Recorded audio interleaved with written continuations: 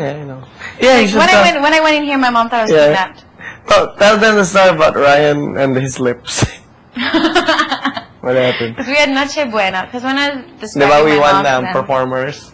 Me, Uh-uh. Ryan, and and Jessica. Oh. And And my mom's really cute. She's kind of like um it's just she's just very very happy all the time and like yeah, misinterprets a lot of things. And then I was like Wait. Pwede magkwento to? Uh-oh. Go. We're allowed. Okay.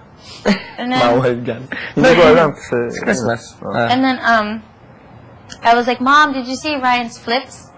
And she goes, Why? What happened to his lips? Ah, di ba si Ryan, he does the flip. Oh. I was like, Mom, flips, flips. Uh, oh yes, Team Way good. Huh?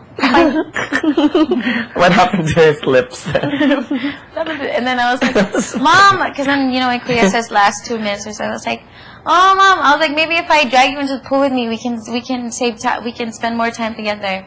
And she's like, I like this fountain. like, Kuya, can I bring Like, this fountain with me? I was like, ah, okay.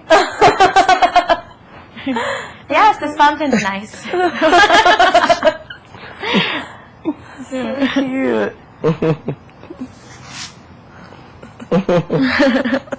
So your mom was at the show.